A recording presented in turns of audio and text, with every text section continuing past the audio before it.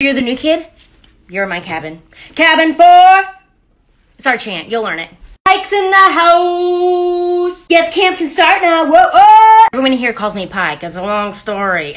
Here's pink because of a dare we did last year during field day. This guy made me do it. Little tip, don't eat the beef tacos, okay? Bunk number five is where we stash the snacks. Shh. I've been voted best camp counselor like five years in a row. Sup, Toodle? Did you bring a hat? Our whole cabin wears backwards hats. It's like a thing.